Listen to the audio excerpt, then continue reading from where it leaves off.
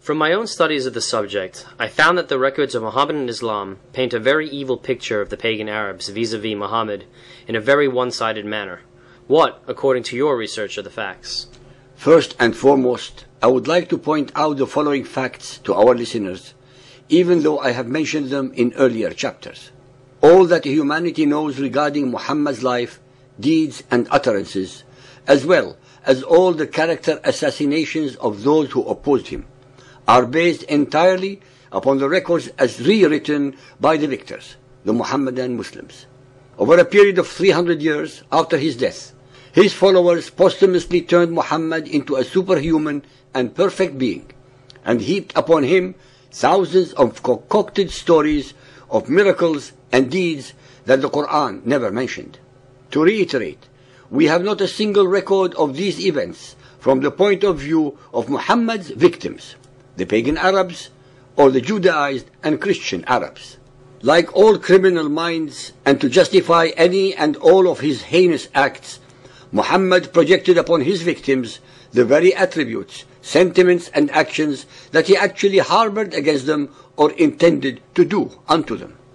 All the hadith show beyond a reasonable doubt that it was Muhammad who always initiated all acts of aggression against his victims, starting with his own kith and kin, the Quraysh, then other pagan Arabs, then the Jews, and finally the Christians. To prove our statements and conclusions, we never have to deceive, lie, or misrepresent anything regarding Muhammad's Quran or the Hadiths. Because, as we have repeatedly and amply demonstrated, the Quran and Hadiths self-destruct. It was Muhammad who insulted his people's gods. It was Muhammad who denigrated their centuries-old religious beliefs and traditions.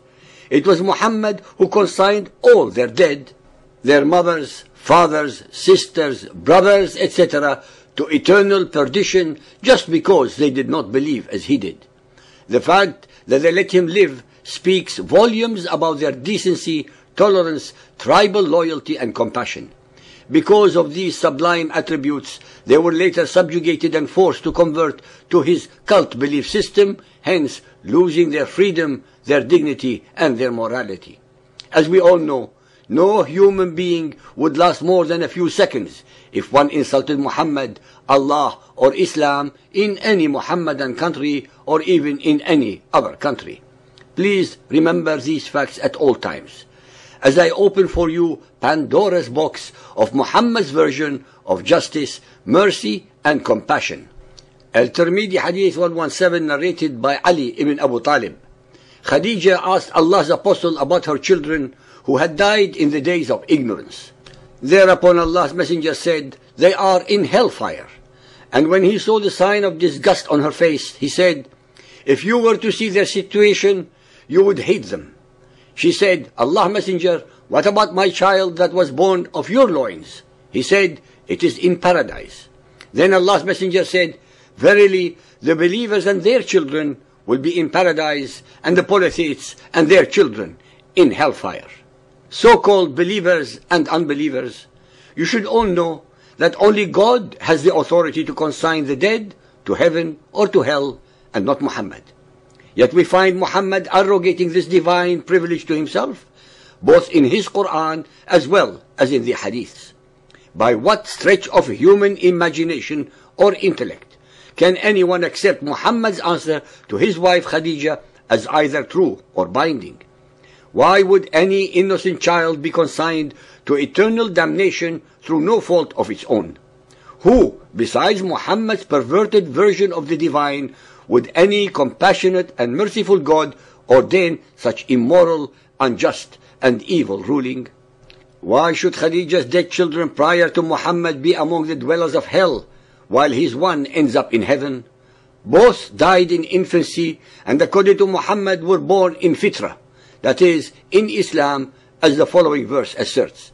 Sahih Bukhari 6.298, narrated by Abu Huraira. Allah's Apostle said, no child is born except on Al-Fitra, Islam. And then his parents make him Jewish, Christian, or Magian. As an animal produces a perfect young animal, do you see any part of its body amputated?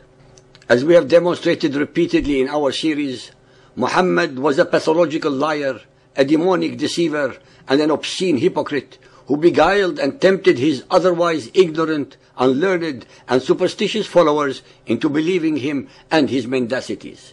In one verse, he extols the virtue and innocence of children, and in the next one, he consigns them to the tortures of hell. To believe and follow Muhammad is exactly the same as believing and following Satan. Most Westerners and other so-called unbelievers watch in horror the videos shown on Al Jazeera as well as on jihadi sites, the butchering, the beheadings, the dragging of the bodies of the dead, and their mutilation by frenzied Mohammedan mobs while screaming Allahu Akbar. They watch mesmerized at the unbelievable bestialities committed in front of their eyes in real time in the name of Allah and Islam. They watch while thinking that these satanic demonstrations are committed by only a fringe, a minority of radical or extremist elements, but nonetheless a minority of Mohammedan Muslims. Their erroneous perception is further reinforced by the deliberate lies and deceptions of the elite among the leaders of Mohammedan Islam and their supporters in the West. They willfully ignore the rulings perpetrated by the Mohammedan religious leaders in the most important seats of Mohammedanism in Saudi Arabia, Al-Azhar of Egypt, Qum of Iran, and others that state the following. A fatwa posted on a popular Islamic website in Saudi Arabia explains when a Muslim may mutilate the corpse of an infidel. The ruling, written by a Saudi religious sheikh named Omar Abdullah Hassan al-Shahibi, decrees that the dead can be mutilated as a reciprocal act when the enemy is disfiguring Muslim corpses, or when it otherwise serves the Islamic nation. In the second category, the reasons include to terrorize the enemy or to gladden the heart of a Muslim warrior. The religious ruling was evidently posted to address questions about the conflicts with the West and is not confined by geography. In fact, in each of two gruesome attacks in Saudi Arabia that left 25 foreigners and 5 Saudis dead, a Western corpse was dragged for some distance behind a car. One was the body of an American engineer in Yambu, the other a British businessman in Khobar. With a ruling such as to terrorize the enemy or to gladden the heart of a Muslim warrior, it is hard to imagine when mutilation cannot be justified.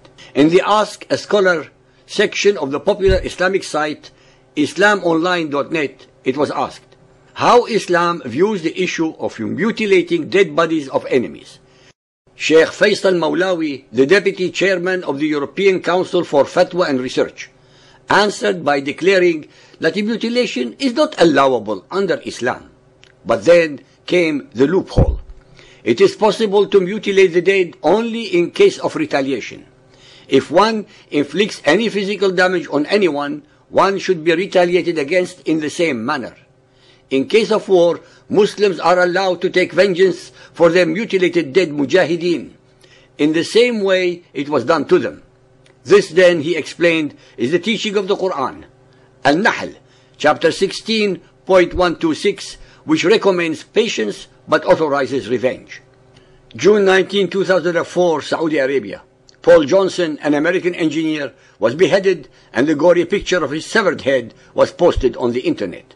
May 2004, Iraq. Nicholas Berg, an American citizen in Iraq, was caught and beheaded. The gruesome act was shown in Arab television Al Jazeera. February 2002, Pakistan. Daniel Pearls suffered the same end. His assassins videotaped their grim crime proudly and showed to the world the level of savagery to which they can stoop. Mutilations, decapitations, and other horrendous acts of barbarity have become the hallmark of Mohammedan Islam's terrorism. But where did these so-called fighters get their inspiration from? The answer to this question, as we have repeatedly revealed in several chapters of our series, especially the ones that deal with Muhammad's Sunnah, his alleged deeds, performances, and statements that every male Muhammadan follower should emulate to the letter. Al-Imran 3.31 If you love Allah, then follow me, Muhammad. Al-Ahzab 33.21 We have indeed in the Apostle of Allah a beautiful pattern of conduct for anyone who hopes is in Allah and the final day. Mishkat al-Masabih 1, page 173, the Book of Allah and the Sunnah of the Prophet. I leave with you two things.